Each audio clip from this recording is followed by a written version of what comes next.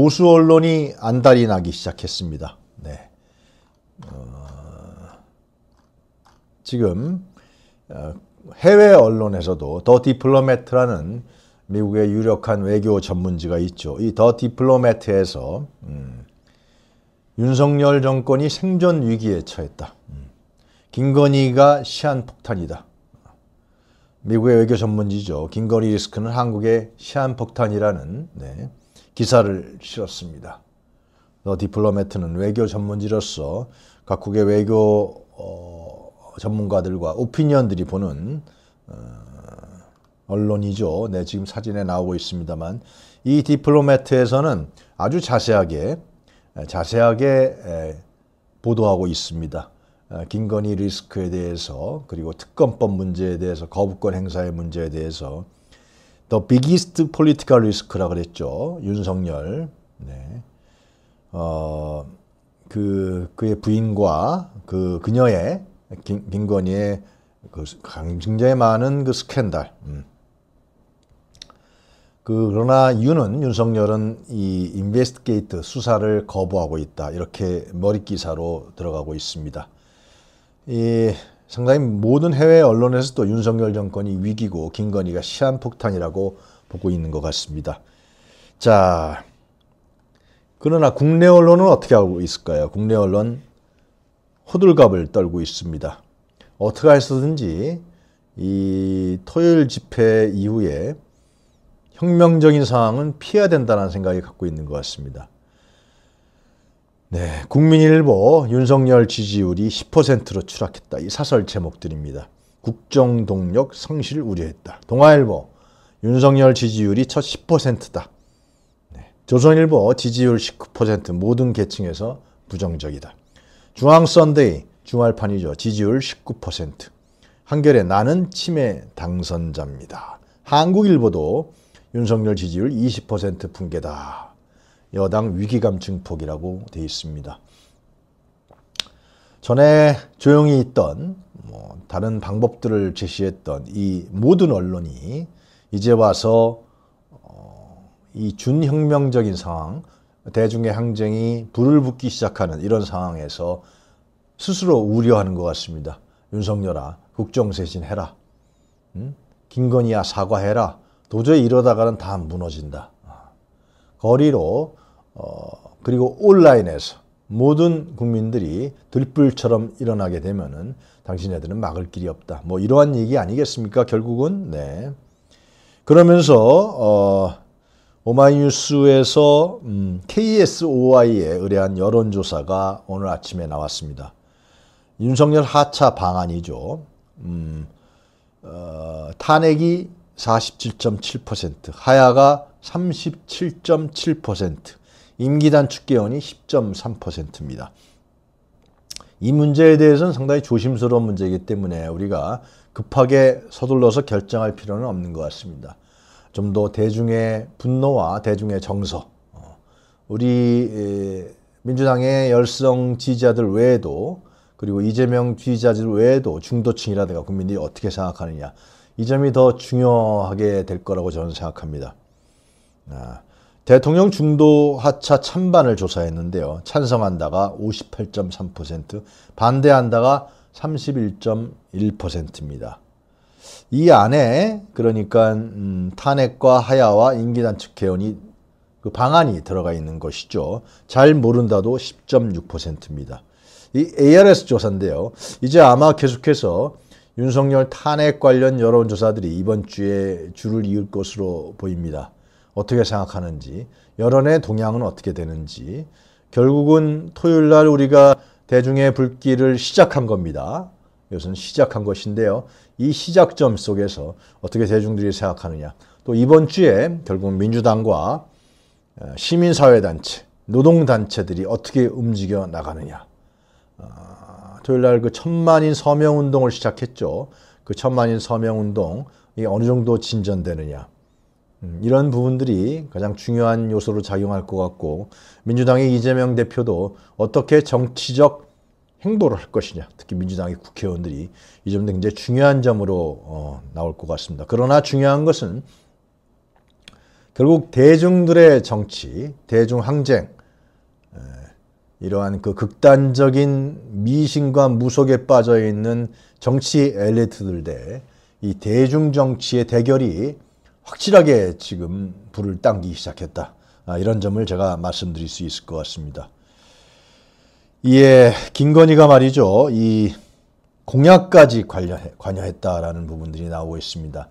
뭐 모든 걸 다 관여했는데요. 어, 캠프에서 공약까지 특히 문화예술 공약까지 관계했다라는 어, 폭로가 이어졌습니다. 신용환 전 그 캠프 총괄 지원실장 아, 이분 내일 저희 출연하기로 되어 있는데요. 이분이 문화예술 공약의 일부 수정이 지시가 왔다. 전화가 왔다. 김동조라는 사람. 어, 이 사람 유명한 사람이죠. 김건희의 아주 추측근으로 김건희 요구사항을 전달해서 그것이 반영됐다. 화면 밑에 나오는 대로 이 수정 전과 수정 후에 이 김건희의 요구 사항이 전달되어 있는 이것뿐만이겠습니까? 네. 하여튼 이런 식으로 해서 김건희의 국정농단이 계속해서 폭로되고 있습니다. 보수 언론이 안달이 났습니다. 또 국민의힘 정치인들도 안달이 났습니다. 이제 와서 지금까지 뭐 했는지 모르겠습니다. 대중이 움직일 때, 네. 그 분노가 치솟을 때, 여론조사가 10%로 떨어지자 이들은 안달이 났습니다. 국민의힘 사람들 이제 집단적으로 움직이기 시작했습니다. 왜? 말을 안 들으니까 도대체. 그리고 김건희한테 괜히 얘기했다 괜히 찍혀버리니까 집단적으로 자신들의 운명을 이제는 얘기하기 시작했는데요. 국민의힘의 시도지사 협의회 상임 고문단까지 나섰습니다. 그리고 영남의 몇몇 국회의원들도 나섰습니다. 소통해라. 이들 얘기는 요지는 그렇습니다. 어, 특검 받아라가 아닙니다. 내려와라가 아닙니다. 소통해라. 국정을 쇄신해라. 국정을 뭐 어떻게 쇄신할 건가. 비서실장하고 몇몇 비서진에 있는 뭐 어, 십상시로 거론된 사람들 바꾸겠죠. 그리고 장관들 좀 바꾸고. 장관 바꿔봐야 국방장관, 행안부 장관 절대로 안 바꿀 것입니다. 하여튼 간에 몇몇 바꿔서 쇄신했다 그러겠죠. 총리도 좀 총리 바꿀까요? 글쎄요. 모르겠습니다. 어, 그리고 당정이 일치해야 된다. 한동훈과 윤석열이 서로 싸우는 건 보기 좋지 않다.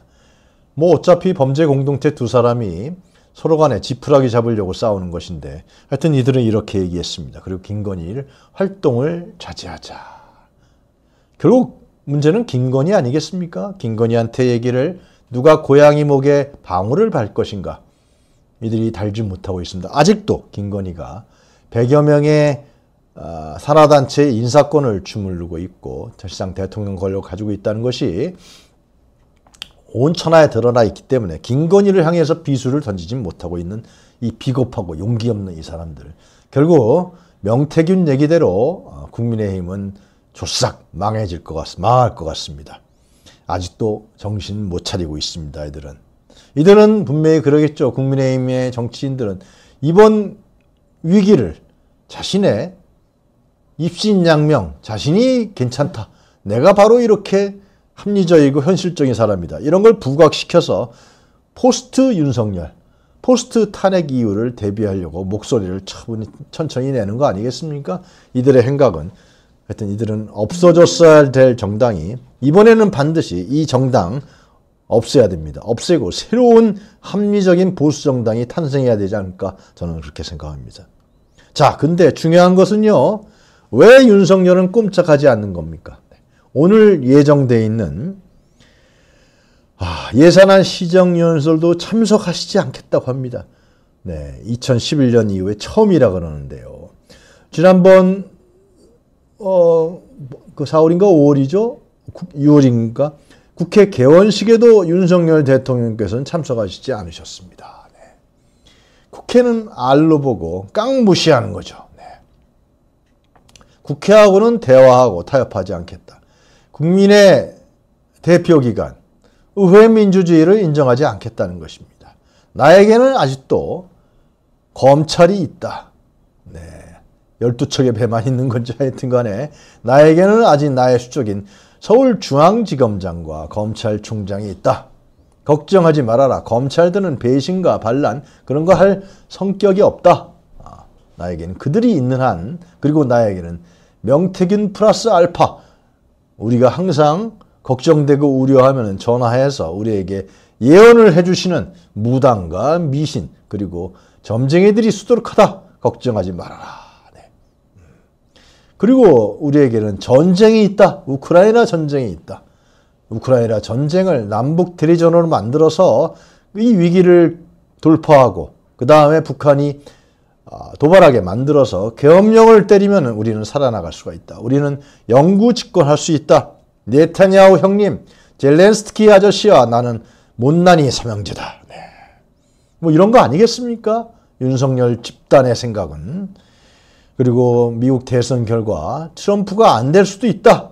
해리스가 되면 우리는 바이든 행정부의 정책을 이어받아서 계속해서 북한을 자극하고 그렇게 해서 러시아가 적대국으로 돼서 우리는 이 한반도를 전쟁 공포로 만들어서 나 윤석열은 제2의 네티냐후, 제3의 젤렌스키가 될 수 있다. 뭐 이런 생각을 갖고 있기 때문에 이 10%의 지지율을 기록함에도 꼼짝하지 않고 국회 예산안 시정연설도 하지 않습니다. 네.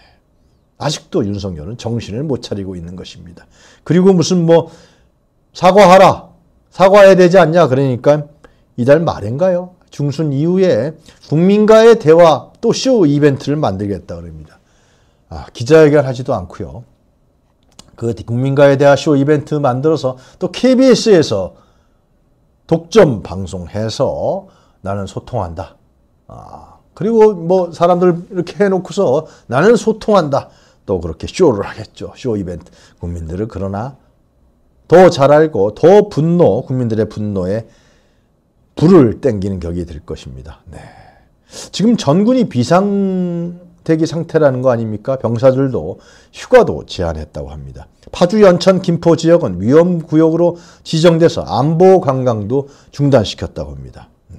네. 미국은 미국의 국방부는 러시아 파병 북한군을 공격 대상으로 간주했다는 소식도 있습니다.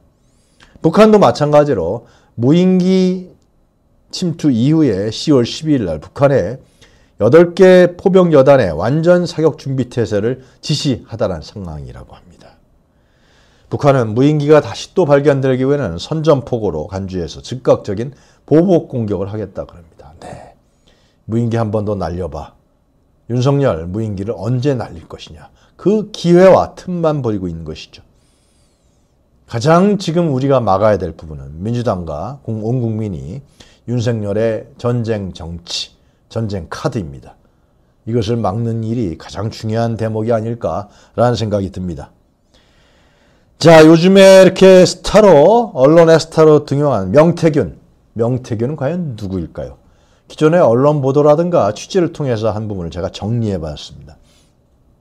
이 사람은요, 여론조사 회사 하나 갖고, 여론조사 기법에 대해서 능통해서 그 여론조사의 기술, 를 갖고서 많은 정치인들에게 접근했습니다. 그리고 자신이 예지력을 갖고 있다. 무당 같은 예지력을 갖고 있다. 이런 걸 통해서 정치인들을 유혹하고 정치인들에게 봐라. 내가 당신들을 당선시킬 수 있다. 여론 조작과 나의 미신적 예언력으로 당신들을 당선시킬 수 있다. 이렇게 하니까 people power, 대중의 힘을 믿지 않는 대중이 정치라고 있고 국민이 주인이라는 생각을 요만큼도 하지 않는 국민의힘의 정치인들 윤석열과 김건희를 중심으로 해서 이 사람들은 이런 유혹에 쉽게 넘어가는 것이죠. 그 셈법은 논법은 아주 간단합니다. 정치공학과 그리고 미신적 예언과 점쟁이적 뭐 예지력 예지력은 너무 과, 과도한 표현인 것 같고요. 이걸 통해서 또 여론조사 조작을 통해서 많은 정치인들, 뭐 여권의 유력 대선 주자라고 하는 사람들, 네. 이 사람들을 내세워서 이 미끼를 그죠 미끼를 던져서 이들을 끌어들였습니다. 그 중에서 가장 미끼에서 걸린 사람이 바로 김건희였습니다. 김건희. 김건희는 특히 항상 정신적으로 그리고 생활 속으로 불안에 쌓여 있는 사람이기 때문에 그리고 대중을 믿지 않고 대중의 힘, 대중정치, 여론정치를 믿지 않는기 때문에 이 의존할 수밖에 없는 것이죠. 그러니까 그 심리를 파악한 명태균이가 김건희에게 접근해서 여론 조작과 여론조사 그리고 바로 이 미신적 주술을 통해 갖고 이들을 지배하기 시작하면서 이 명태균은 권력 핵심까지 치고 들어갔던 것입니다. 수시로 윤석열과 통화를 하고 그것을 자랑 삼아 얘기하고 자기 자신이 바로 권력의 핵심 비선이다. 그래서 어, 나오는 얘기가 여의도 연구원 같은 경우를 만들어서 비선으로 거기서 나온 여론조사를 통해서 윤석열에게 비선으로 바치고 어, 비선에게 보고하고 그러면서 자기가 이 핵심 권력으로 계속해서 승승장구 해 나갔고 또 하려고 했다는 거 아니겠습니까? 그런데 하여튼 무슨 이유인지 아, 김건희한테 커트당한 것 같은 더 센 명태균이 나타난 것인지 창원 상단 등 굵직한 국가사업에 관여해서 이권을 챙기고 그리고 이 여의도 연구원 같은 데를 만들어서 비선으로 해서 영향력을 지속적으로 하려 했던 이러한 아주 고루하고 아주 전근대적이고 이 비루한 정치 엘리트들의 심리와 심정을 잘 긁어왔고 자기 자신이 득세하고 그리고 승승장구하면서 권력의 핵심에 위치하려고 했던 바로 우리나라 이 국민의힘의 중심에 있는 비루한 정치 엘리트들의 실상을 우리가 보고 있는 것입니다. 우리가 토요일 날 30만 이상이 나간 것은 바로 이런 비루한 정치 엘리트들과 우리가 바로 대결을 확실한 아, 우리의 힘을 보여주면서 이 대립과 갈등이 아주 첨예하게 가시화됐다. 이런 얘기를 제가 말씀드릴 수 있을 것 같습니다. 그 김해관이라고 그러죠. 김해관은 윤핵관과 대립된 김해관. 네, 사진 좀 보여주십시오. 명태균과 김건희.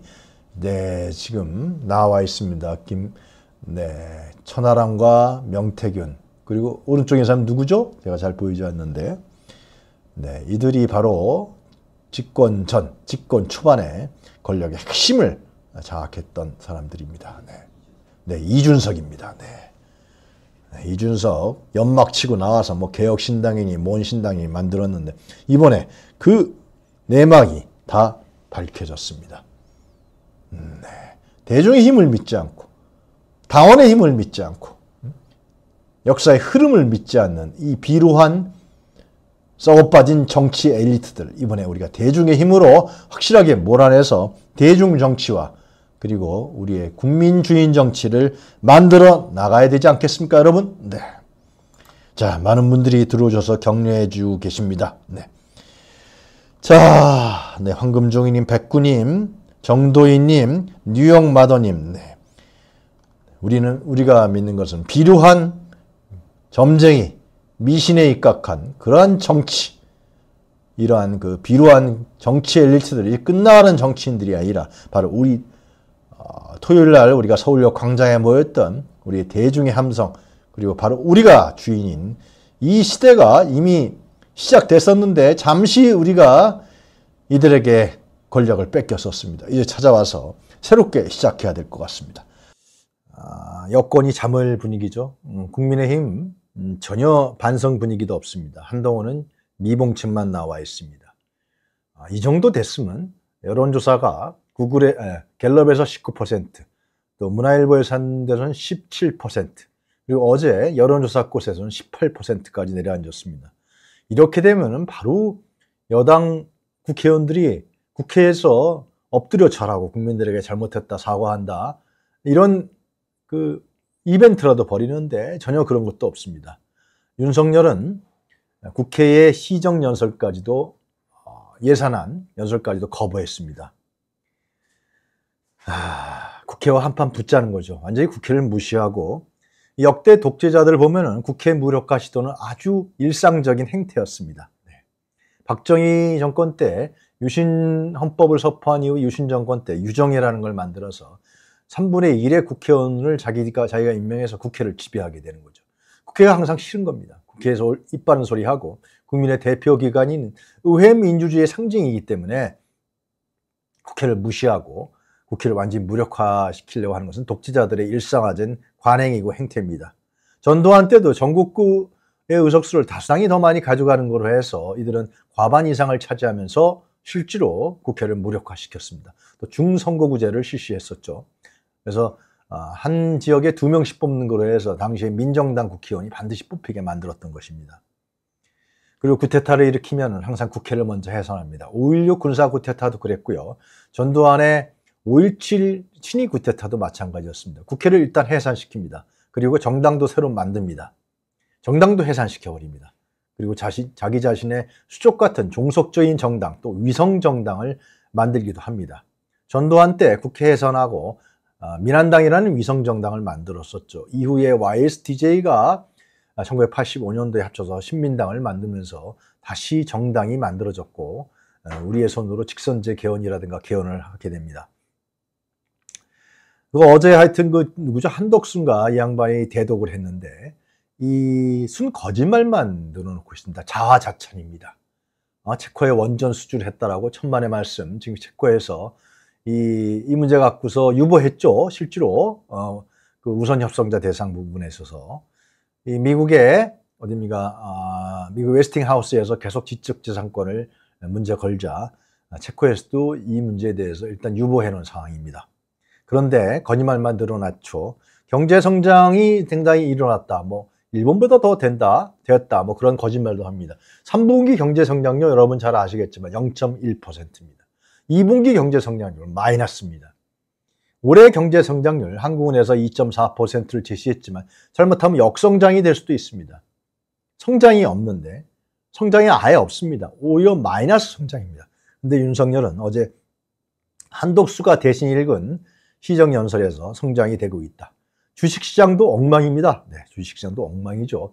전쟁을 하고 있는 러시아보다도 어, 이 어, 문제가 더 심각합니다. 어제 다, 행히 이재명 대표가 금투세를 폐지한다 그러니까 코스피 지수가 좀 올랐습니다. 네, 그 이재명 대표 덕분에 주식시장이 좀 살아난 것입니다. 자, 오늘 이 얘기는 좀 해야 될 것 같은데요. 지금 탄핵 소치를 발의하느냐 아니면은 임기 2년 단축 개헌하냐 갖고서 여러 가지 얘기가 많습니다. 먼저 선제적으로 말씀드리면 임기 단축 2년 개헌은 안 됩니다. 예. 이거 지금 할 이유가 없습니다. 개혁신당에서 임기 단축 개헌을 받아들이라고 윤석열 대통령에 요구했습니다. 이 사실만 보더라도 임기 단축 개헌이 누구를 위한 것인지 우리가 짐작할 수 있습니다. 정치 공학적으로. 일단은 탄핵 소추 발의를 해야 됩니다.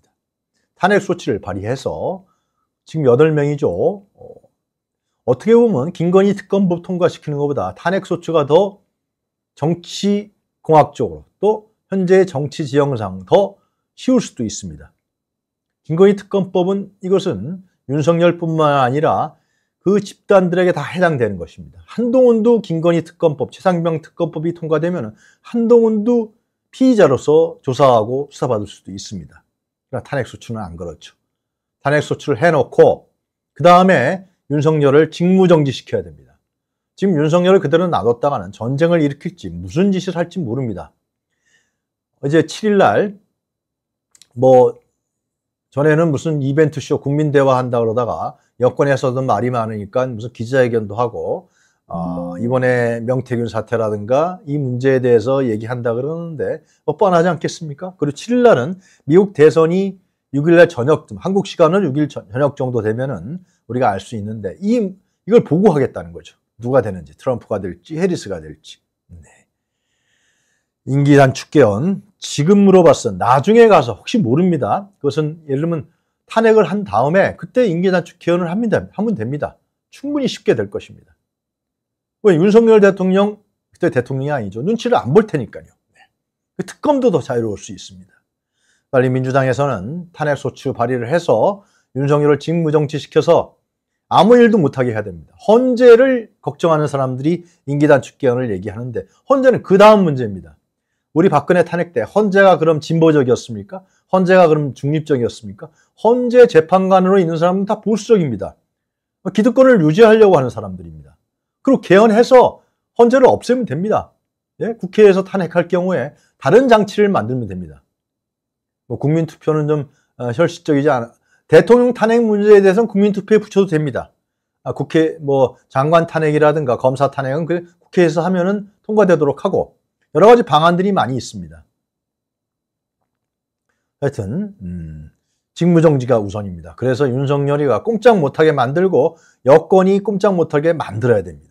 오히려 탄핵소추가 제가 봤을 땐 김건희 특검보다도 더 쉬울 수 있다. 공학적으로 봤을 때 그 작업에 민주당에 들어가야 되지 않느냐. 저는 그렇게 생각합니다. 여러분 의견은 어떠십니까? 네. 여러분 의견도 아마 마찬가지라고 생각하는데요. 하여튼 민주당 일각에서 지금 아 김지우님 감사합니다. 고맙습니다. 일각에서 이런 얘기도 나오고 있는데 어제 저희들 게스트 나왔던 분들도 다 아, 임기단축 개헌은 지금은 아니다. 나중에 하나의 방안이 될 수 있겠죠. 하나의 방안으로 우리는 검토해야 되는 것이고 그 임기단축 개헌은 아마 국민의힘이라든가 대통령실에서 협상안으로 나올 수도 있습니다. 2016년 어, 박근혜 탄핵 당시에 저쪽에서 협상안들이 굉장히 많았던 거로 기억합니다.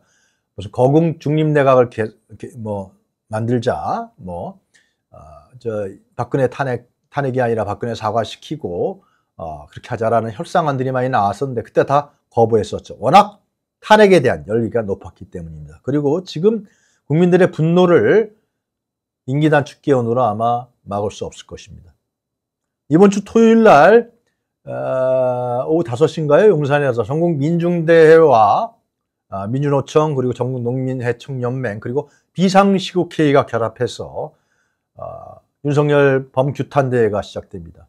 어, 제가 들은 바에 따르면은 민주당도 본래 대전에서 어, 이 규탄 대회를 개최하려고 그랬는데 아마 서울로 합류할 가능성도 있는 것 같습니다. 아직 공식적인 발표가 이루어지지 않았습니다만 어제 기사에 검토하고 있다 그랬는데 제가 취재해 봤을 때는 아마 민주당도 이젠 세게 밀어붙여야 된다. 엊그저께 토요일 날 했던 집회에서 30만 이상의 시민들이 당원과 지지자들이 거리로 쏟아져 나오지 않았습니까? 그 열기를 보면서 지금이 바로 밀어붙일 때다. 마지막 기회입니다. 정말. 이재명 대표와 민주당 이 기회를 놓치면 안 됩니다. 이 기회에 확실하게 밀어붙여야 됩니다. 대중들이 호응하고 대중들이 분노하고 있을 때. 그리고 육성 녹취록 있다 그랬는데 그것도 빨리 공개해야 됩니다. 공개해서 더 이상 이들이 발붙이지 못하도록 해야 됩니다. 그렇게 해서 이번 주 여론조사 지지율이 10% 초반대로 가게 만들어 버려야 될 것입니다. 창원대, 여러분 창원대라 그러면 명태균이 창원대학을 나온 것 같은데요. 창원대 학생들이 대잡을 어제 붙였습니다. 10개 정도를 게시하는데요. 명태균이 부끄럽다. 창원대 선배인 명태균 부끄럽답니다. 뭐 대자보 뭐 네, 대자보가 나오고 있습니다. 뉴스를 보면서 역사 왜곡 문제들이 너무 화가 나서 글을 썼다. 학생들이 한 거죠. 창원대를 졸업하신 명태균 선배. 명태균 선배는 창원대 수치입니다. 대통령을 스스로 나서서 전쟁 도발을 하면서 위기를 만들어내고 있다.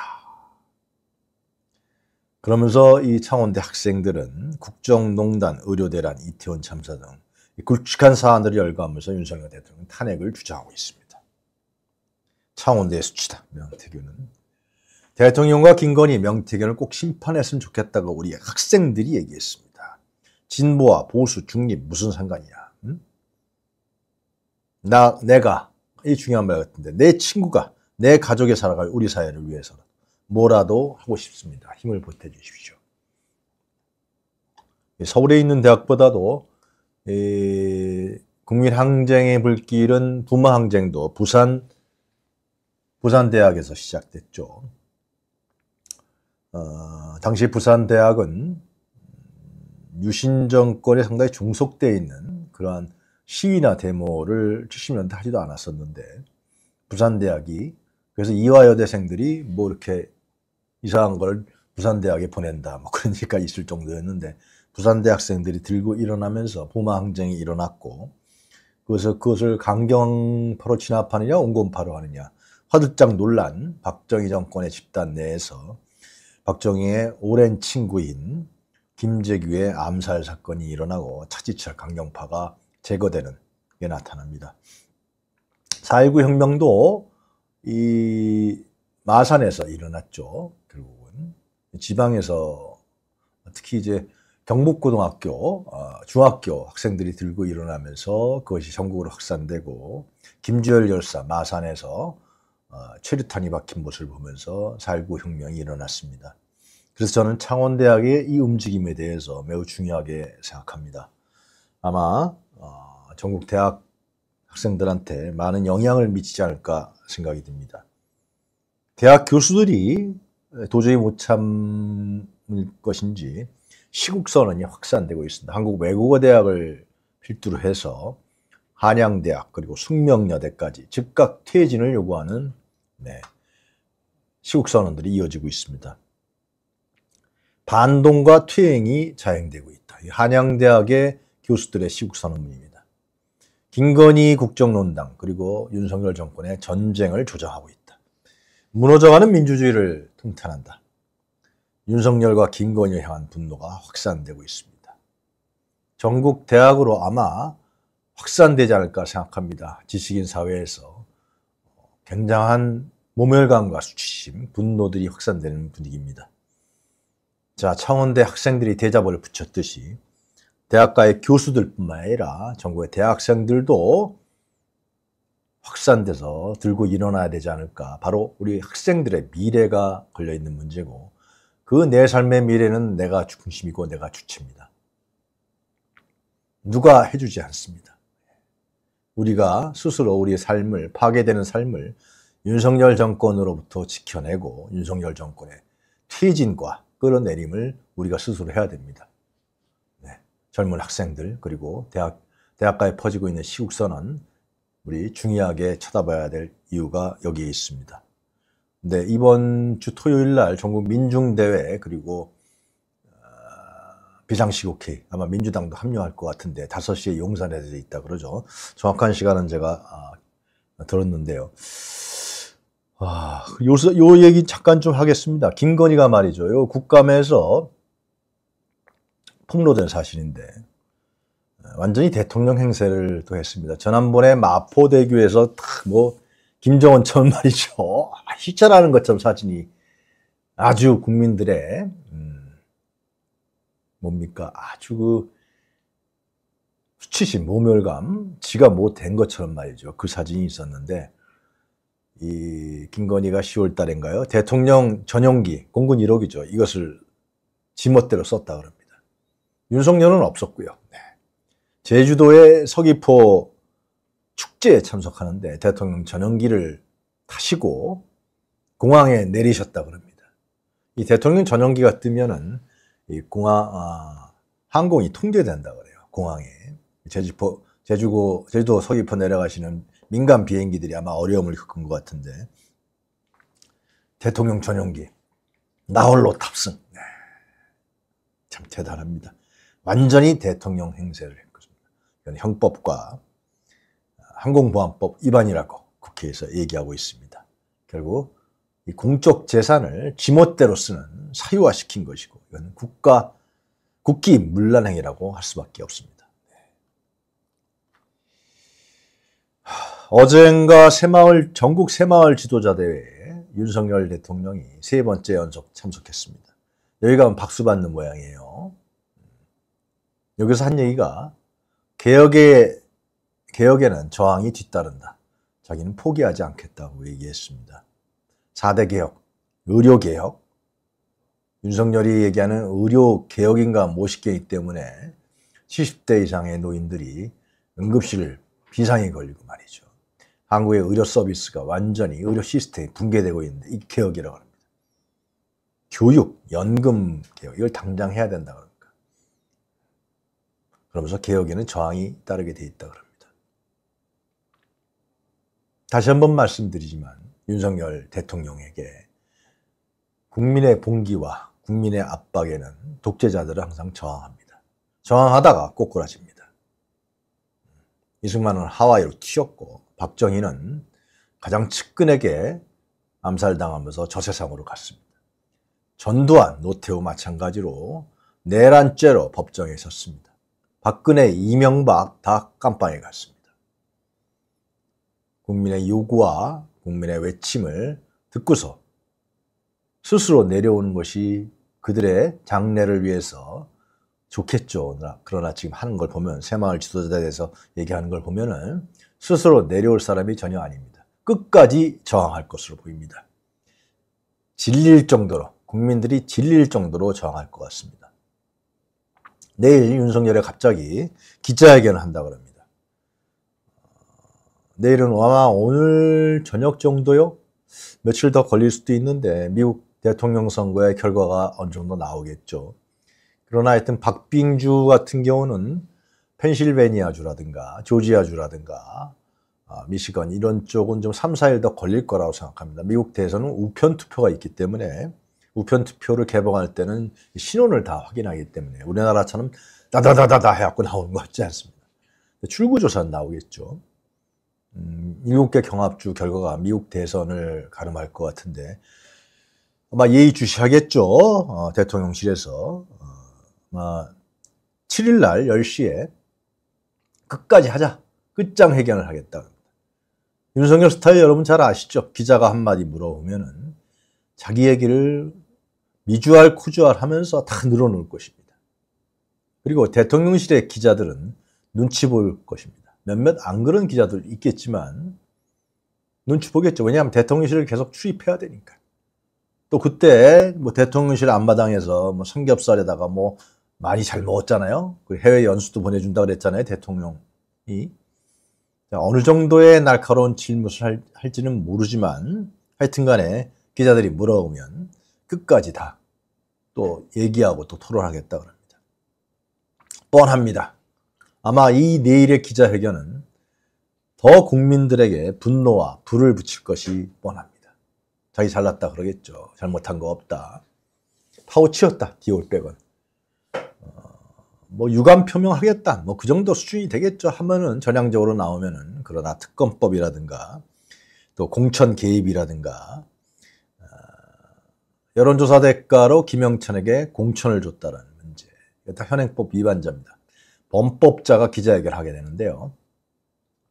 범법자의 기자회견을 우리가 또 내일 10시부터 눈 뜨고 봐야 되는 이 문제에 대해서 뭐 제대로 답변하겠습니까? 아, 만약에 제대로 답변할 의사가 있고 반성하고 성찰한다 그러면 고개 180도 숙여서 국민한테 사과하는 게 먼저죠. 그리고 부인도 사과시키고 특검법을 받겠다는 것이 정직하고 올바른 자세인데 전혀 최근에 하는 행태를 보면은 이렇게 할 것이 아닐까 봅니다. 기자들이 어느 정도 질문할지 모르겠습니다만 무인기 침투, 또 살상용 무기를 우크라이나한테 수출한다, 지원한다는 문제. 이 문제도 굉장히 중요한 현안 중의 하나인데, 하여튼, 내일 공교롭게도 8일 날은 명태균이가 검찰에 소환됩니다. 명태균이는 검찰 조사를 받으면 한 달 안에 하야하고 탄핵, 탄핵하겠다고 했습니다. 스모킹건을 갖고 있다는 거죠.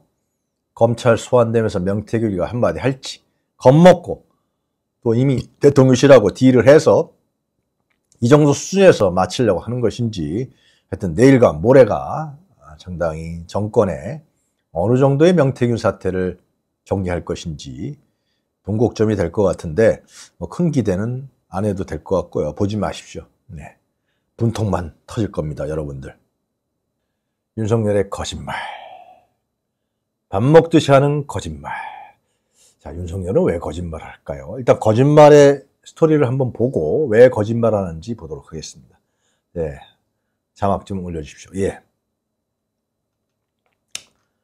아, 2019년 7월 검찰총장 인사청문회 여러분 기억하실 겁니다. 아, 윤호진 세무서장 이 변호사 소개해준 적이 있느냐 하니까 하루 종일 없다고 청문회에서 그럽니다. 그런데 이것을 유스타파에서 윤석열 본인의 통화록을 공개하자 거짓말이 탄로났습니다. 이게 왜 중요하냐면요.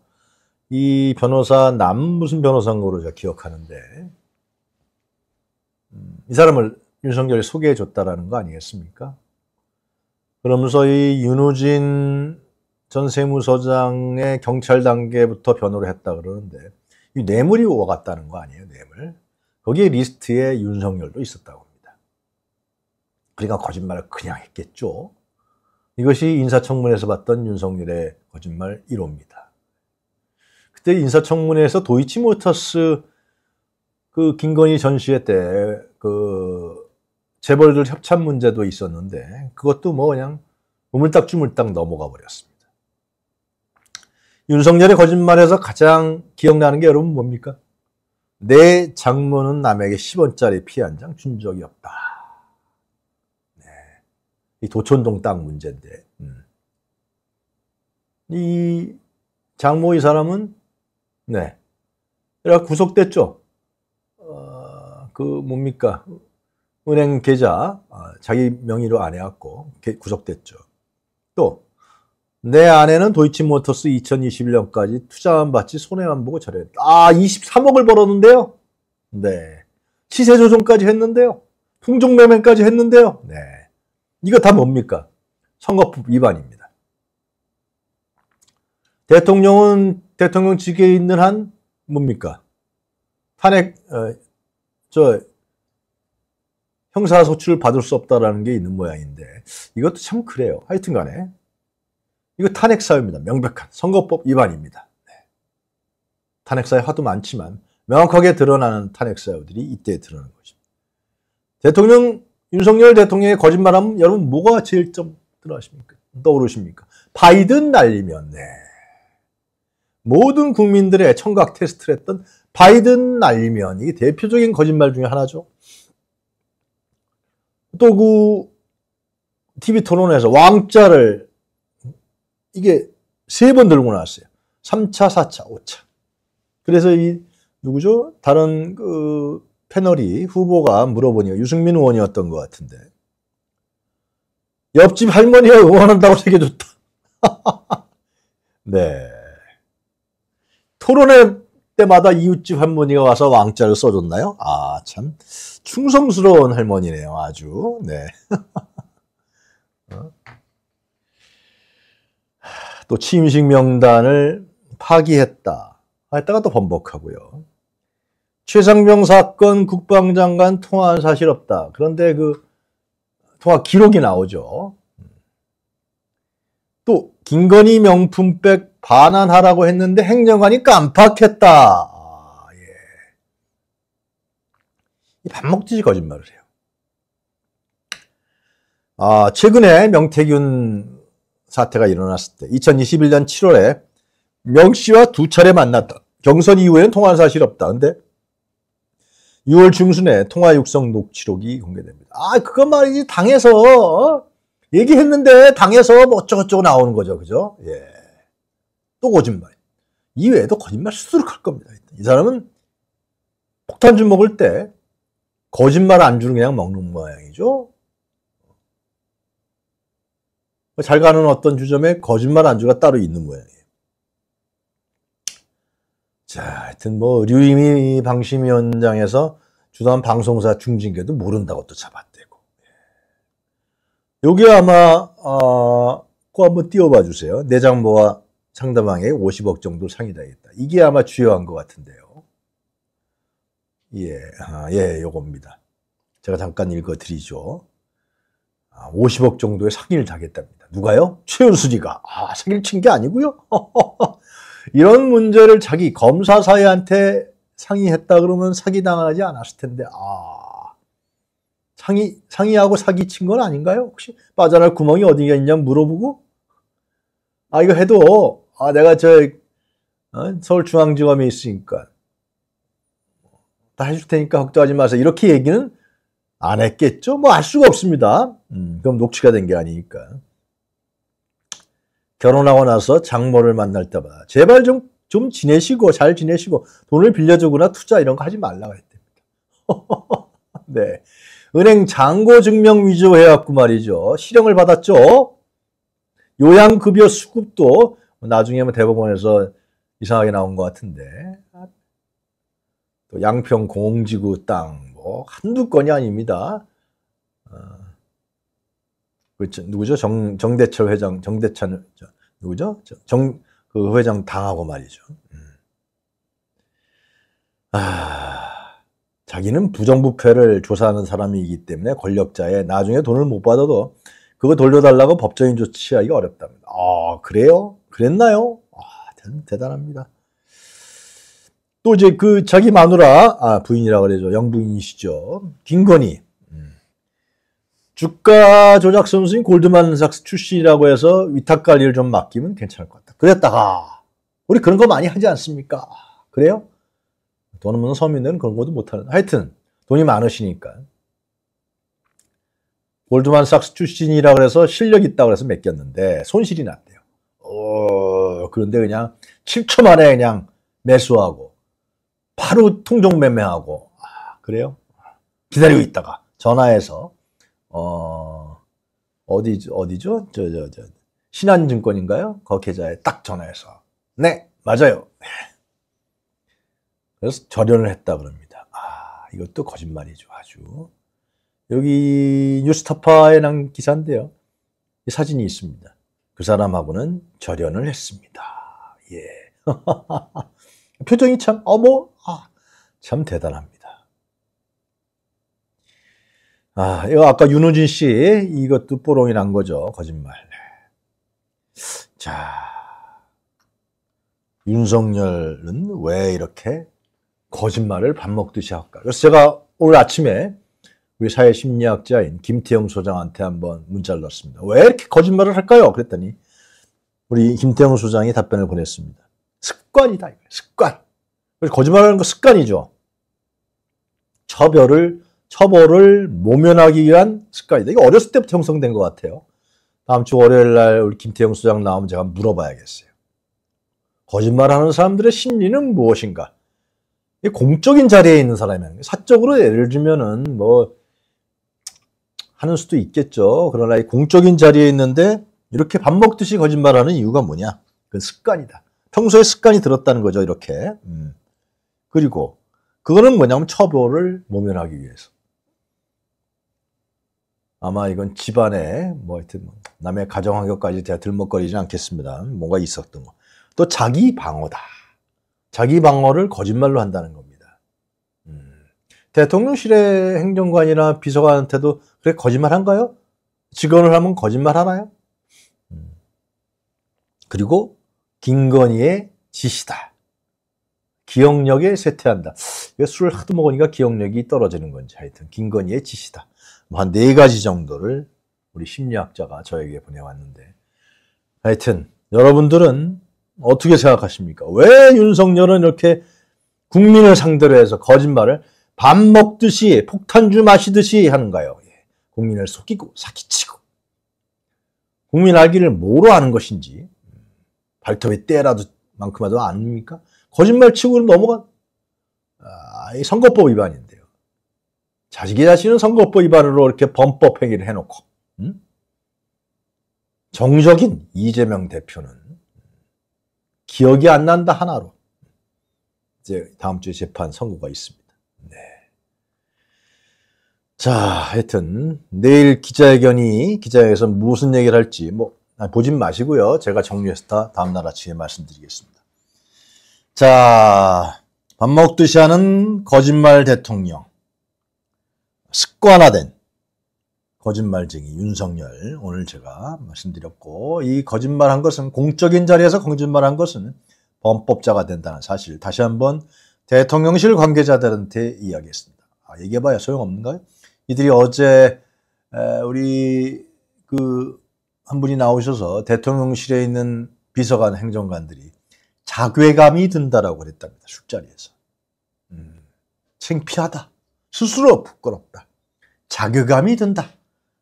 지금 대통령실 핵심부에 있는 사람들이 하는 얘기입니다. 술자리에서.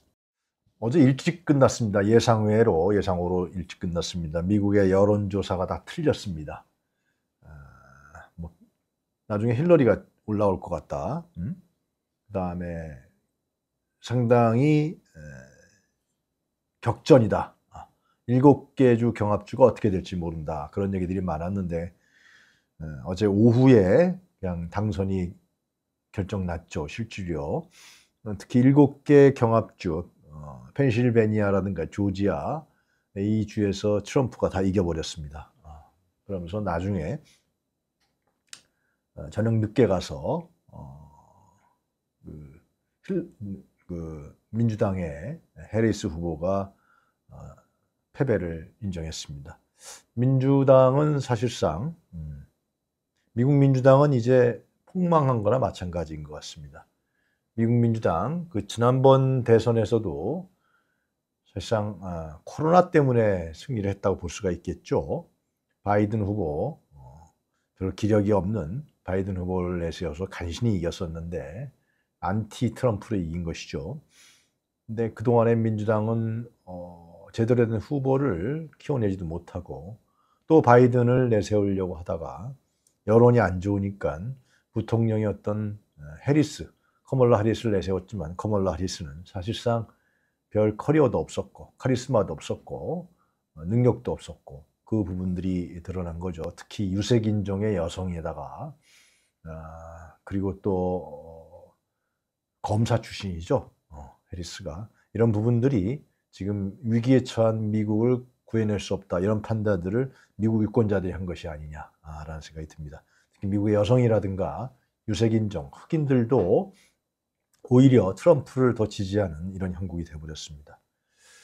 하여튼 간에 이번에 트럼프 당선에 대해서 우리 한국에 미치는 영향, 한반도 국제 정세에 미치는 영향이 상당히 클 것 같은데요.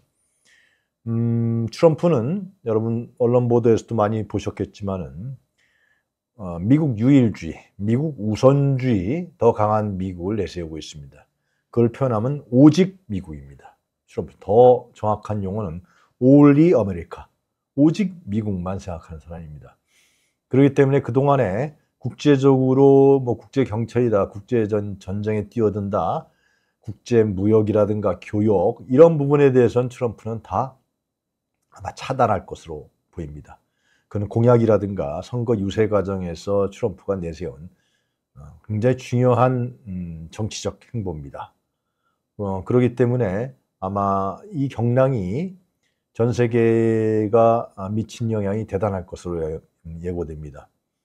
음, 그리고 미국 경제가 굉장히 안 좋죠. 물론 증시가 올라간다 하더라도 미국의 서민층이라든가 사회적 양극화가 더욱더 심화되고 있고 이 경제 고통이 말이 아닙니다. 그래서 트럼프가 내세운 거는 어, 오직 미국만을 생각하겠다. 그래서 이 경제난을 해결하겠다고 시원하게 해결하겠다고 한 것이 바로 당선의 요인이 된 것 같습니다. 그리고 지금 중동 전쟁이라든가 우크라이나 전쟁에 사실상 미국의 인플레이션을 자극하고 있습니다. 그래서 전쟁도 끝내겠다. 이런 부분들이 미국 유권자들에게 큰 호소력을 얻어서 이 별 능력도 잘 안 보이고 커리어도 없고 어, 이런 해리스 후보를 안티 트럼프에 의존한 어, 해리스 후보가 아주 그냥 참패를 당한 것 같습니다. 아마 경제적 어려움을 미국의 경제적 어려움, 미국의 경제적 어려움을 해결하기 위한 조치들이 과단성 있는 조치들이 진행될 것이라 보여지는데요.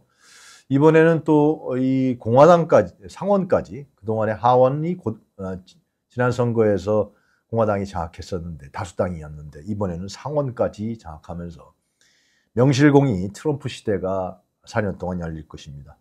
물론 트럼프는 이제 더 이상 못하죠. 전번에 한 번 했고 이번에 두 번째니까 그렇기 때문에 4년 동안 트럼프는 아주 대단한 조치들과 과감한 정책들을 펼칠 것으로 보여집니다. 지난번 일기 트럼프 때 이 노벨 평화상을 못 받은 걸 굉장히 후회한다 그러지 않았어요? 그 볼턴 국무장관 때문에 못 받았다. 강경파, 매파 볼턴이 계속해서 방해하는 바람에 김정은과의 아, 합의 이런 부분들이 진행되지 않았다. 그것을 나중에 상당히 후회하는 말도 많이 트럼프가 했습니다. 그런 측면에서 봤을 때 트럼프가 남은 4년 동안 이 사람은 비즈니스맨이죠. 심하게 하면 장사꾼인데요. 그 장사꾼의 기질을 발휘해서 미국 경제를 살리겠다고 그 처음으로 나오는 것이 이제 관세 부과 조치가 예상됩니다. 특히 중국을 고립화시키는 것은 아마 바이든 행정부보다 더할 것 같은데 중국의 60%의 관세를 물리겠다. 다른 나라도 10%의 관세를 물리겠다. 라고까지 호언장담하고 있습니다. 한국은 이제 FDA, FTA를 체결하기 때문에 이런 과중한 과세, 관세를 물리기 어려울 것 같은데 그러나 트럼프는 그런 거 안 보는 사람이죠. 어, 아마 한국도 한국의 수출도 상당히 어려워질 것 같은 그런 형국이 보이고요. 특히 지금 삼성전자라든가 SK 하이닉스가 진출해 있는데 보조금 문제도 더 어려워질 것 같고요. 어, 이 한국의 대기업들 진출한 대기업들이 상당히 어려워질 형국이 보여집니다. 자, 트럼프 2기에서 가장 중요한 문제는 우리가 우리한테 영향 미치는 가장 중요한 문제는 우크라이나 전쟁을 과연 어떻게 해결할 것인가가 문제입니다.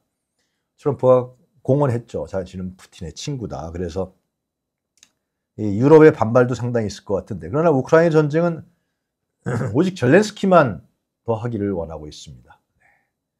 러시아도 휴전하기 원하고 있고 유럽도 마찬가지고 미국의 여론도 우크라이나 전에 무기를 공급하면서 달러를 어, 소진하고 있는 어, 바이든 행정부를 많이 비난했고 이 전쟁이 사실상 이번 대선에서 미국 민주당 정부가 패배하는데 결정적인 요인이 됐었죠.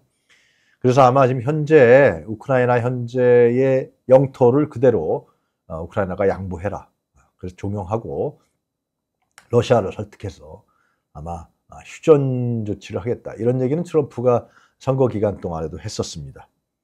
어, 그리고 중동 전쟁 지금 4만 명 이상이 학살당한 중동 전쟁도 아마 트럼프가 외교력을 발휘해서 네타냐후는 음, 그 트럼프의 사위가 유대인이니까 좋아하고 있는데요. 아마 이 문제도 트럼프가 해결하려고 노력을 할 것이다. 물론 이 이스라엘과 아, 이란 이쪽의 하마스와의 전쟁은 쉬운 문제는 아닙니다만은 트럼프도 어, 전쟁을 종식시키겠다고 했으니까 유럽과의 관계도 굉장히 많이 연관성이 있죠. 음. 아, 그리고 뒤에 중요한 것은 이제 미국과 러시아의 관계가 상당히 개선될 거로 포함됩니다.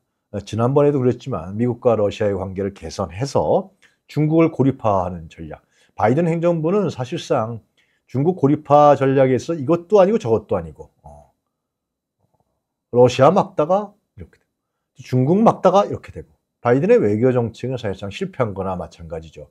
만약 윤석열이가 큰형님 모시듯이 돌격대장을 안 했다 그러면 한미일 군사동맹마저 맺어, 맺지 않았다 그러면 바이든 외교 정책은 빵입니다. 빵, 제로. 예. 그러나 어, 트럼프는 상당히 다르게 나올 것 같은데요. 이러면서 어, 지난 7월에 김정은과의 과거 얘기를 발언했었죠. 김정은과 잘 지냈다. 야구 경기 보러 가자고 했다. 트럼프가 볼턴 강시에 매파했던 볼턴 국무장관에 대한 상당히 불쾌한 감정을 어, 내세웠었는데 잘만 했으면 그때 노벨 평화상 받을 수 있었거든요. 그럼 재산할 수 있었는데 그래서 김정은을 미국에 초청할 수도 있다. 이러한 어, 전문가들의 의견도 있습니다. 네. 그러면서 북미 관계가 급속도로 진전을 볼 수가 있을 것 같은데요. 왜냐 4년 임기이기 때문에 트럼프는 뭔가 성과를 내려 할 것입니다. 그러나 이미 좀 상황은 달라졌죠. 이미 북한은 핵 보유국이 됐고, 음, 그래서 핵 군축 협상을 벌이면서 경제 제재를 해제하면서 사실상 동북아시아의 헤게모니를 트럼프 미국이 가져가는. 음, 그렇게 되면은 사실상 중국도 이 한반도와 동북아시아에 미치는 영향력이 줄어들 수밖에 없겠죠. 네.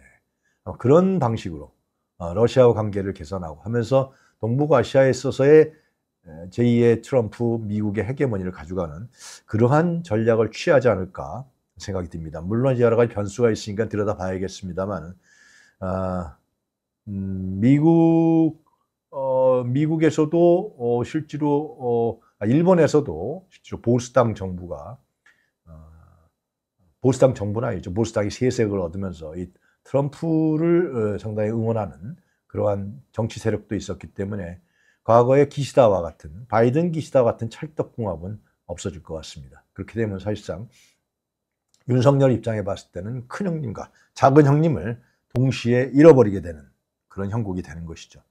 결국 윤석열 정권은 완전히 팽당할 수도 있다라는 얘기가 나오고 있습니다. 트럼프는 윤석열을 아마 졸로 볼 것입니다. 바이든의 똘만이었기 때문에 어? 트럼프는 상당히 의연한 정치인들하고 대화하기를 좋아한다 그러지 않습니까? 그래야지 장사가 되니까. 그래야지 딜이 되니까. 아, 윤석열은 어제 아, 뭐 축하한다 그러면서 한 얘기가 굳건한 한미동맹 관계만 얘기했습니다. 아마 정신이 없을 거고 멘붕을 멘붕인 상태라고 생각합니다. 자, 큰형님, 작은형님 다 잃어버린 윤석열입니다. 이게 굉장히 중요한 얘기인데요. 왜 그러냐 하면요, 여러분. 윤석열 정권이 지금 국내에서도 탄핵 위협에 몰려 있습니다. 탄핵 소추. 그렇기 때문에 음, 윤석열은 에, 국내에서의 10% 지지율 버틸 수 있었던 건 뭐였습니까? 국내 극우 세력들 그리고 TK 이쪽이었는데 TK도 18%의 지지율이 나왔죠. 지난번 한국 갤럽 조사에서 그리고 지금 구구파 세력도 분열하고 있는 상황인 거고 영부인파, 한동훈파로 나눠져 있지 않습니까? 결국 윤석열이 버틸 수 있었던 것은 미국과 일본의 뒷배였는데 이 커다란 뒷배가 사라지게 되는 것입니다. 그리고 더욱 중요한 것은 우리 입장에서 중요한 것은 전쟁이 사라질 수 있다는 겁니다. 우크라이나 우크라이나 전쟁이 종식되면은 거기에 뭐 파병 나가 있는 북한군 거기서 남북 대리전을 일으켜서 한반도로 그걸 끌고 오겠다 하는 그러면서 계엄령을 내려서 자신들의 정권을 영구 집권하겠다는 커다란 카드가 사라지게 되는 것입니다. 물론 이것은 하나의 추측이고 어, 가설이고 저희 예상입니다만 트럼프가 또 뭐 헛가닥할 수도 있습니다만은 그러지는 않을 거라고 보여집니다. 트럼프가 워낙 대선 기간 중 안에 또 공약을 내세웠던 부분들이 강했기 때문에 이것은 윤석열에게 사면 추가 형국을 불러일으킬 수가 있습니다. 이렇게 되면 어떤 현상이 나타나냐 하면요. 이 미국과의 관계가 불편해지면은 어떻게 됩니까? 어, 미국과의 관계가 불편해지면은 뒷배가 미국이었던 윤석열은 정권 변황에 떨어질 수밖에 없는 것이죠. 어, 과거 우리 한국 현대 정치사를 보더라도 이승만도 마찬가지로 미국과의 관계가 상당히 악화됐을 때 4.19 혁명이 일어나면서 미국 대사가 이승만을 만나서 사태를 종용하게 됩니다. 79년 부마 항쟁이 일어났을 때 그때도 이 카터 행정부하고 박정희 정부하고는 관계, 가 굉장히 안 좋았죠. 박정희가 또 핵개발을 하겠다. 또 박동선 사건도 있었고 미국과의 관계가 악화돼 있을 때 그때 이제 김영삼 총재가 뉴욕타임스하고 회견을 하면서 어, 박정희를 버려라 이런 회견을 합니다. 그 국제 관계를 알고 있었던 것이죠. 그러면서 박정희는 내부의 균열 속에서 사실상 사라지게 되는 것입니다. 윤석열도 마찬가지입니다. 어, 상당히 그 어느 정도의 대통령 노릇을 했던 사람들마저 이랬는데 국내에서 완전히 위기에 처해 있고 어, 트럼프는 윤석열을 졸로 알로 보기 되는 한국에서 봤을 때 윤석열이 버틸 수 있는 굉장히 중요한 기반들이 사라지게 되는 것이죠. 예. 그러면서 특히 조중동이라든가 재벌이라든가 주류 세력이 윤석열 버리기에 나설 수도 있게 됩니다. 다른 카드를 세우자. 아, 특히 남북 관계, 북미 관계를 개선하기 위해서는 남북 관계가 아, 잘 해결돼야겠죠. 반면에 이제 윤석열은 다시 또 큰형님 모시듯이 윤, 트럼프가 요구하는 대로 뭐 주한미군 주둔 비용 문제라든가 방위비 분담금 문제, 또 경제적인 문제 이런 부분에서 아주 알뜰하게 모시려고 하겠죠. 달려가려고 하겠죠. 어떤 분이 에, 채팅방에 올려주셨는데 과연 멜라니하고 김건희하고 같이 설 수 있을까? 둘이서 악수할 수 있을까? 뭐 이런 얘기도 하십니다. 그러나 하여튼 간에 이 김정은과 어, 트럼프가 회담을 하고 교신을 하고 편지를 받을 때 윤석열은 완전 팽등하고 통미복남이 매우 구체적으로 진행된다. 그런 속에서 한국의 보수층들은 흔들릴 수밖에 없다. 그런 우리가 예상을 할 수가 있습니다. 예, 자영업자 정말 살기가 힘듭니다. 미국 경제도 어렵다 그러는데 한국 경제는 더하죠. 지금 완전 바닥입니다. 그런데 예, 윤석열 정권은 대책이 없습니다. 지난 1년 동안에 자영업자 6만 7천 명이 줄었다고 합니다. 구직 활동도 하지 않는 인구가 24만 명이 늘어났습니다. 네, 그표좀 보여주십시오. 나홀로 자영업자가 이 테이블에 나와 있는데요. 430만 6천 명. 그나마 고용원이 있는 자영업자 143만 명입니다. 그러니까 대부분의 자영, 우리나라 자영업자들은 혼자 하는 겁니다. 이 1인 노동자나 마찬가지죠. 이들에 대한 대책도 없고 특히 내수가 국내 소비가 음? 국내 소비가 일어나지 않으면서 어, 지금 이 방송을 시청하시는 분들도 자영업자가 상당히 많은 걸로 알고 있는데요. 예년 같지 않다. 음? 그리고 전기료, 가스료 다 올라 버렸고요. 이제 심각한 상황으로 지금 가고 있는 것 같습니다. 그런데도 불구하고 어, 이 극심한 고통 속에서 자영업자와 서민들이 하루하루 버티고 있는데 윤석열 정권은 그저 명태균, 김건희, 해외여행 이런 것만 바라보고 있습니다. 자 오늘 여러분들 그냥 신경 쓰지 마시고요. 결과만 보시면 될 것 같은데 제가 뭐 얘기하는지 아시죠? 10시에 하는 거. 윤석열 기자회견. 아, 왜 갑자기 당겼을까요? 원래는 그 10월, 11월 중순경에 한다고 예정돼 있었는데 이재명 대표 재판 다음에 한다든가요. 그리고 내일 명태균이가 8일 날 검찰에 출두합니다. 아, 이것은 음, 윤석열 정권과 밀당한 것이 아니냐 윤석열과 아, 명태균이 그런 생각이 강하게 드는데 미국 대선 뭐 이길 줄 알았겠죠. 누가요? 해리스가. 그러면서 7일 날로 선택한 것 같고 8일 날 어, 검찰에 명태균이 출두한다. 가만 보니까 민주당에서 녹취록 육성이죠. 어, 윤석열이나 김건희 육성 녹취록이 나올 게 별로 없는 것 같다. 뭐 그런 생각을 좀 한 것 같아요. 그래서 명태균 사태를 털고 가자. 창원지검에서 자기의 친윤 지검장이 잘 해결할 것이다. 그래서 오늘 기자회견은 아마 뻔할 겁니다. 우리가 한 번, 한두 번 속습니까? 무슨 국민과의 대화다, 뭐 기자회견이다 해놓고서 자기 혼자 그냥 떠들어대는 거. 아, 혼자서 떠드는 떠들이 쇼, 떠돌이, 떠드는 쇼, 뭐라 그래야 되나요? 될 것이 저는 분명하다고 보여집니다. 만약에 그렇지 않다 그러면 벌써 분위기가 달라질 텐데요. 어제의 그 뭐 대통령실이라든가 어, 안보실에서 얘기하는 거 계속해서 자화자찬만 하고 있습니다. 경제 성과가 좋다. 국민들은 고통 속에서 죽어나가는데 그런 얘기를 하는 거 보면 특히 새마을 지도자 대회 가서도 개혁에는 저항이 뒤따른다 이런 얘기를 한 거 보면 사과는 개뿔 사과도 제대로 안 할 것입니다. 네. 김건희 특검법 역시 뭐 검찰 수사를 또 얘기할 겁니다. 무혐의 처분받지 않았냐. 기다려라 국민들아. 뭐, 예. 간단한 유감 표명 정도 할까요? 글쎄. 뭐 박절하지 못해서 뭐 어쩌 그 얘기 또 하겠죠. 끝장 토론이라고 얘기했는데 이 눈치 보는 대통령실 기자들과 무슨 끝장 토론을 하겠습니까? 여러분. 네? 대국민 연극을 하겠죠. 대통령실 기자들과 대통령실 기자들 전번에 삼겹살 잘 고소 먹였잖아요. 어, 그리고 해외 연수도 많이 시켜준다 그랬잖아요. 그리고 MBC나 뭐 이쪽에 좀 신문 기자들은 뭐 한 번 정도 시켜줄래나? 조중동과 기타 등등의 기자들이 계속 물어오면서 또 자아자찬의 질문을 유도하겠죠. 하여튼 이것만은 자신 있는 모양 여러 사람 모아놓고 자기 혼자 떠드는 건 자신 있다 그러잖아요. 윤석열이가. 여러분 너무 10시에 보시면서 스트레스 받지 마십시오. 결국 이 얘기는 명태균과 명태균과 어느 정도가 합의를 본 거다. 이렇게 우리가 판단할 수가 있을 것 같습니다.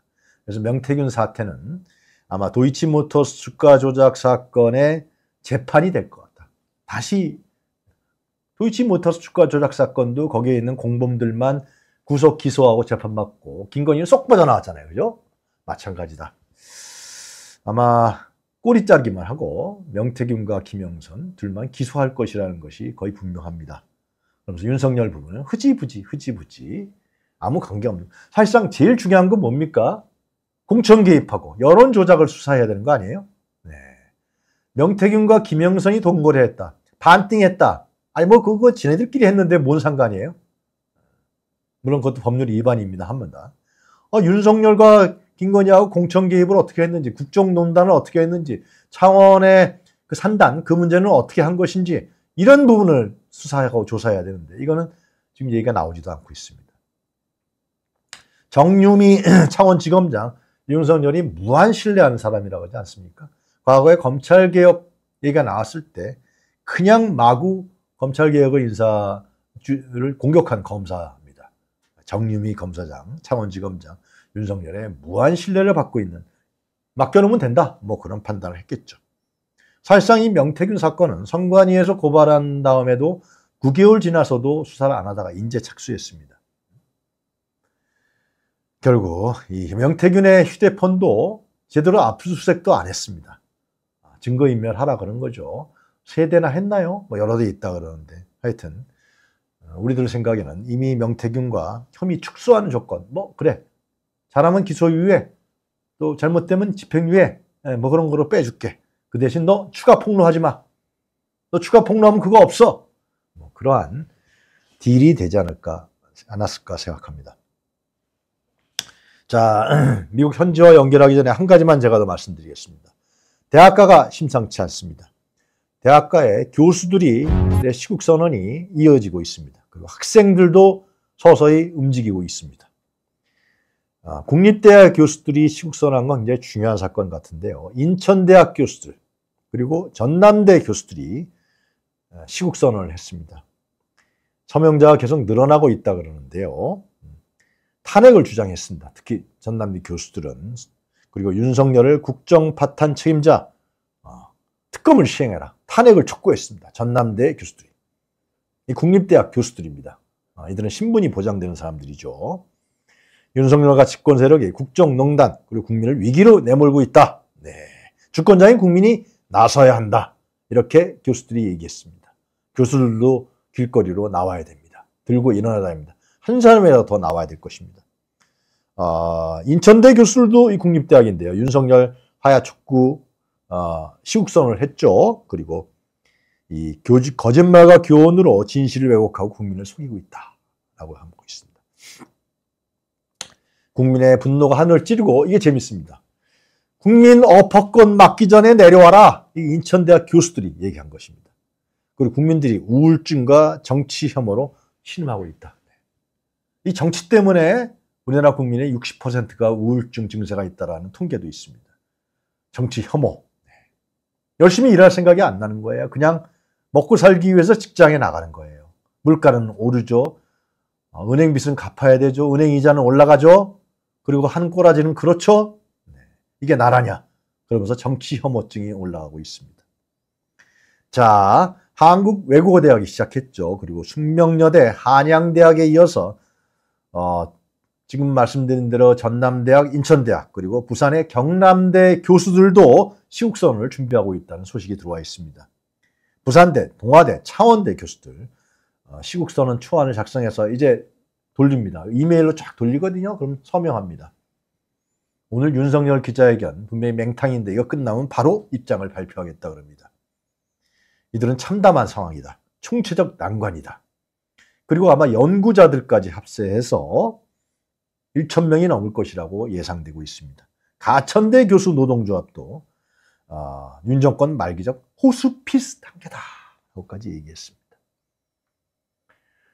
윤석열 퇴진 국민투표 대학가로 번지고 있습니다. 특히 부산에서 시작됐습니다. 부산의 7개 대학, 부산대, 부경대, 신라대, 부산외대, 동의대, 부산 카톨릭대학에서 이 교정에서 어, 국민투표, 퇴진 국민투표가 시작됐습니다. 학생들이 와서 퇴진 투표에 참석, 참여하고 있습니다.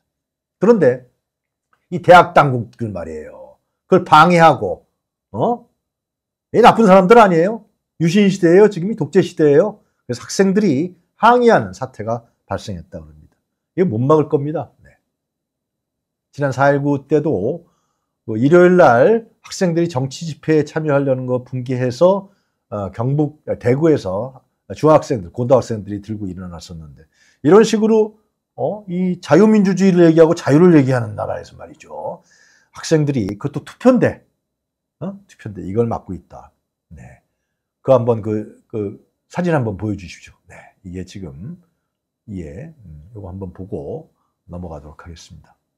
윤석열 퇴진 국민투표. 예. 부경대, 부산대, 예, 신라대, 부산의대, 동의대, 부산 카톨릭대, 경성대, 동서대, 동명대. 이것이 바로 어, 찬성에 올라가 있다는 사실입니다. 대학 교수들 시국수는 전국 대학으로 번져갈 것이라고 저는 예상합니다.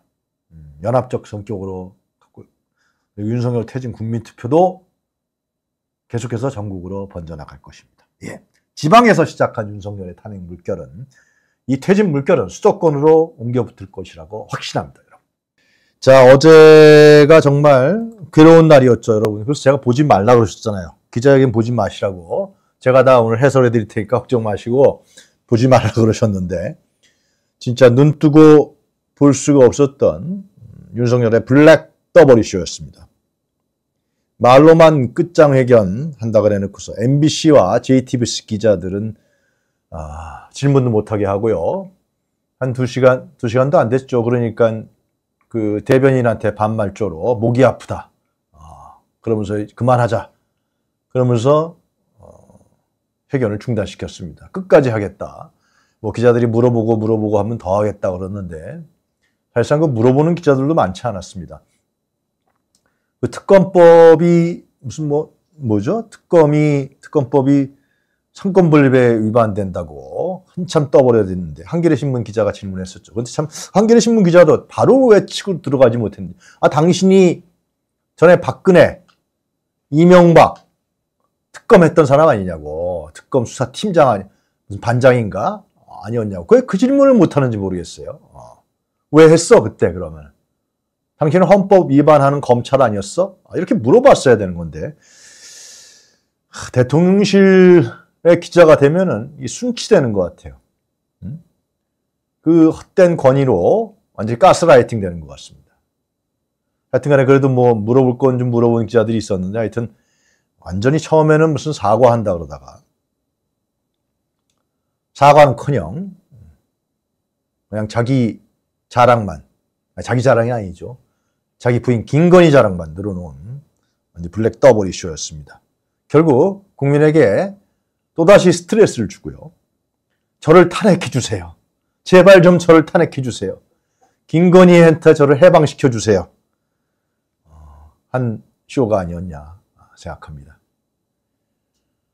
또 아주 그 뭡니까 자기 자기 자신이 위법했다는 행위도 자인했죠.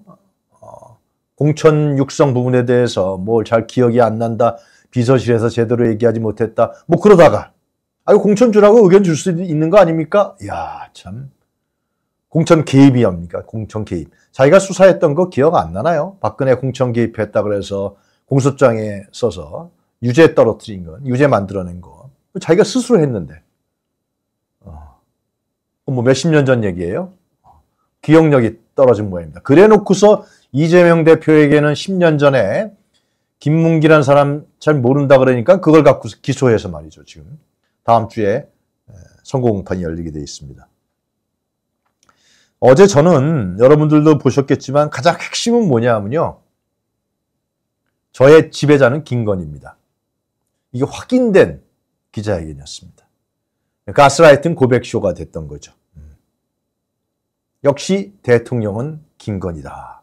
이걸 우리가 우리 심리분석이라든가 아, 정치평론가들이 나와서 얘기했던 김건희가 윤석열을 지배하고 있다.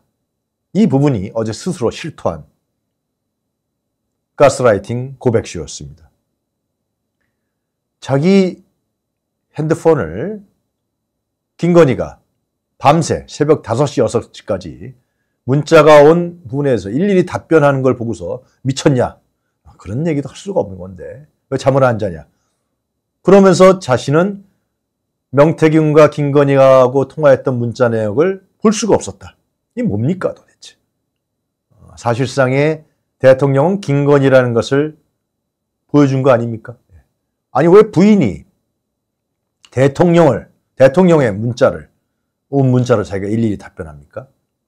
네, 참 어이가 없습니다. 네, 어이가 없어요. 그래놓고서 이유가 뭐, 뭐, 뭐, 뭐 프로토콜? 대통령과 영부인에 대한 프로토콜 따르지 않았다고? 핸드폰을 바꾸지 않은 게 실수였다고? 아, 참. 이걸 보면서 동서, 동문서다. 환장하네. 제가 댓글을 보니까. 이러한 댓글들이 계속 올라왔습니다.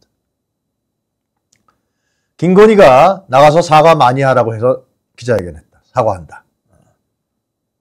김, 결국 김건희에게 칭찬받기 위한, 인정받기 위한 기자회견이었다는 것을 어제 우리는 확인할 수 있었습니다. 안 그렇습니까, 여러분? 네.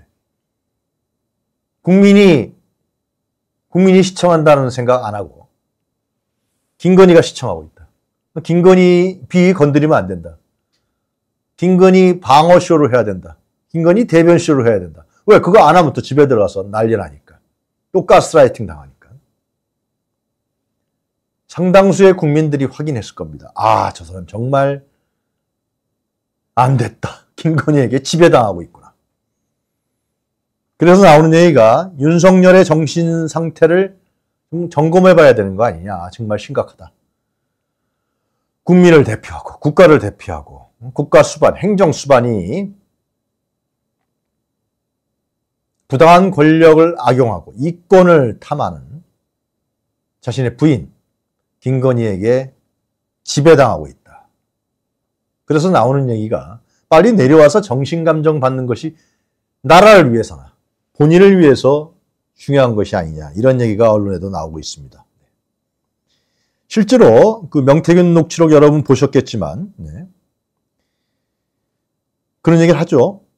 아니 오빠 바보 오빠 명수 선생이 일 처리 안 했어?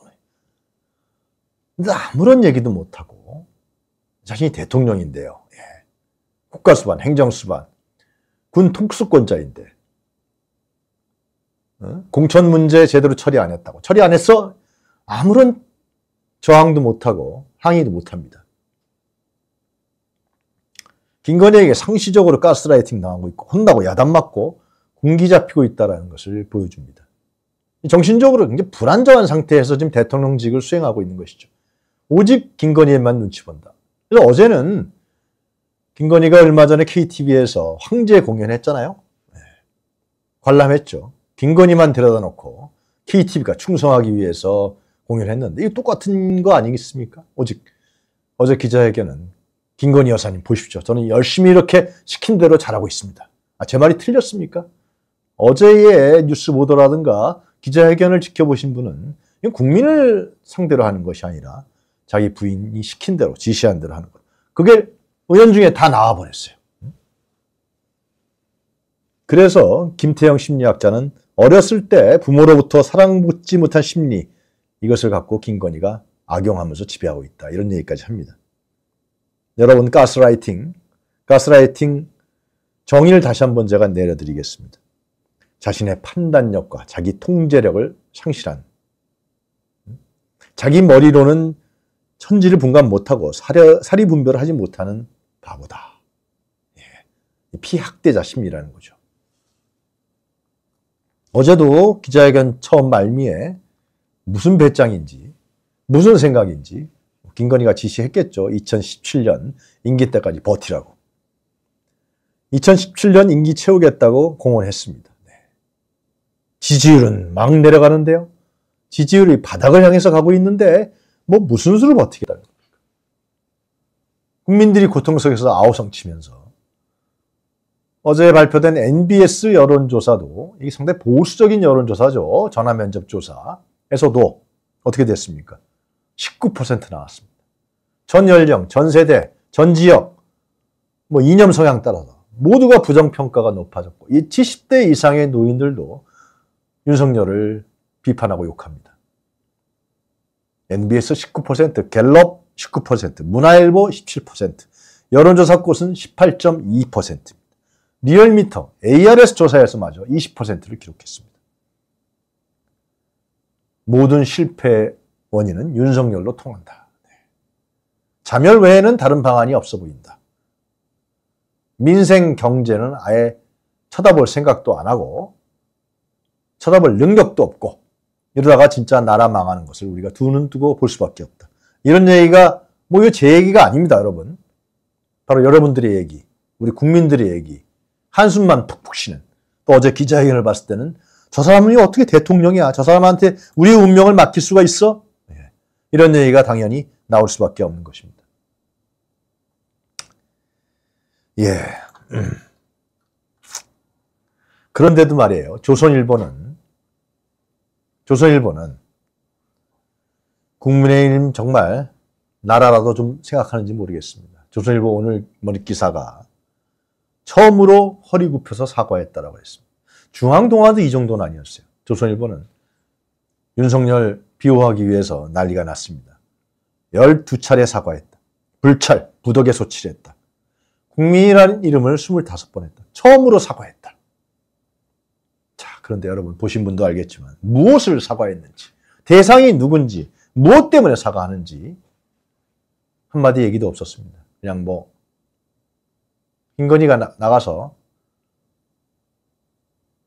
허리 굽혀서 사과하라 그랬겠죠. 그거 하나 했습니다.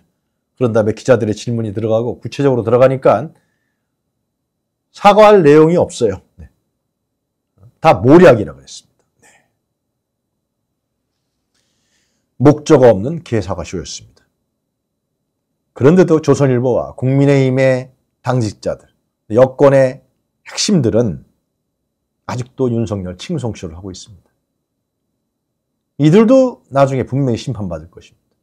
아, 두 눈 뜨고 못 봅니까? 인간이라고 하면, 국민이라고 하면 어제 기자회견을 보고서 진짜 자괴감이 들고 부끄럽고 어?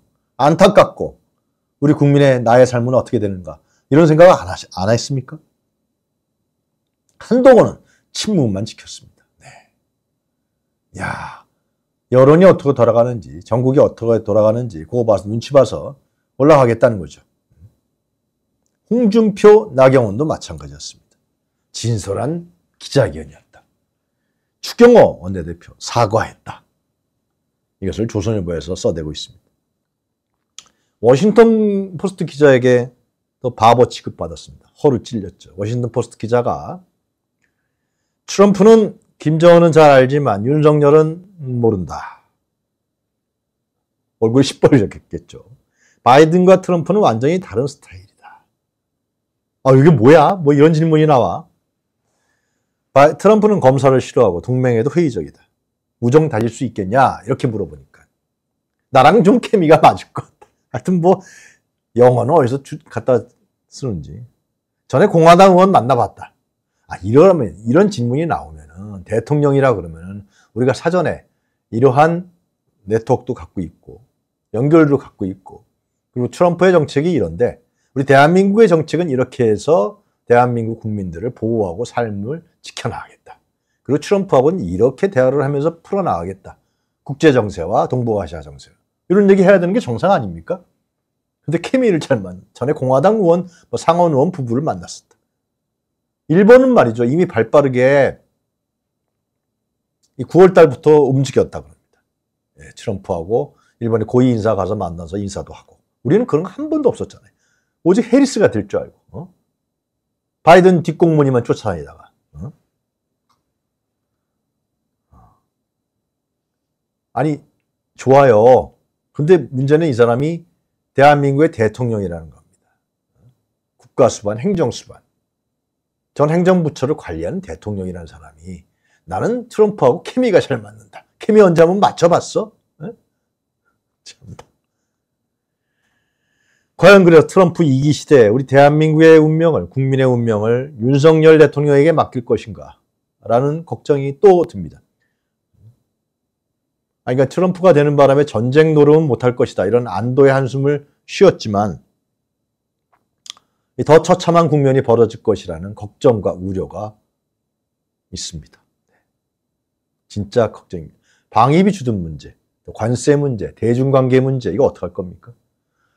저희들이 여러 어, 얘기를 들어봤습니다만 트럼프는 자신이 없는 사람.